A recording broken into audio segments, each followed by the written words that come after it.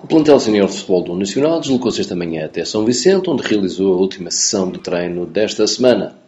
Uma semana muito atribulada que obrigou a equipa a andar com a casa às costas, alterando sucessivamente os locais de treino.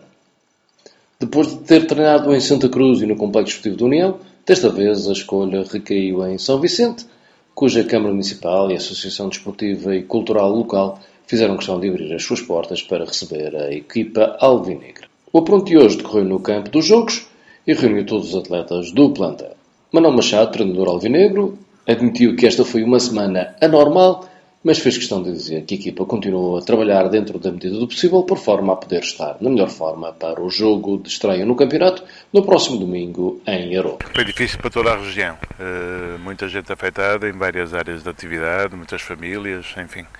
Uh, foi por demais noticiado o conjunto de dificuldades uh, que os incêndios na Madeira causaram à normalidade da vida e por isso o Nacional não lhe escapou. Está inserido também na, na montanha, o estádio foi afetado e hum, tivemos também alguns contratempos para poder fazer uma semana normal. Felizmente, com a boa vontade e a disponibilidade de todos os atletas e de toda a estrutura do clube que se empenhou uh, no sentido de, uh, de, encontrar alternativas, acabou por se realizar uma semana com relativa normalidade, sendo que ficou o registro e o agradecimento que era a União que nos cedeu o campo para trabalhar, que era o, ao São Vicente e ainda também ao Santa Cruzense, que foram os campos alternativos que encontramos para durante estes 4, 5 dias eh, podermos realizar o, a tal semana, a semana com a tal relativa normalidade que, que, se cria. E por isso penso que a situação está ultrapassada e que a próxima semana eh, encontraremos condições mais adequadas ao desenvolvimento do trabalho que estamos a realizar. Uh, estreia adiada, o primeiro jogo será agora em Roca. É assim. Uh,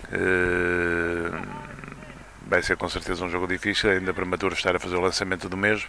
Vamos encontrar uma equipe com já 4 ou 5 jogos oficiais, por isso com um andamento muito, muito elevado, por contraponto com a nossa estreia. Uh, Adivinha-se está que um grau de dificuldade muito elevado pela frente, por força daquilo que acabei de dizer, uma equipe já rodada e outra ainda a estrear-se, mas isso não nos tira ambição e por isso iremos a Aroca com o jogo relativamente bem preparado e na, na, na perspectiva e na ambição de trazermos os pontos que estão em disputa.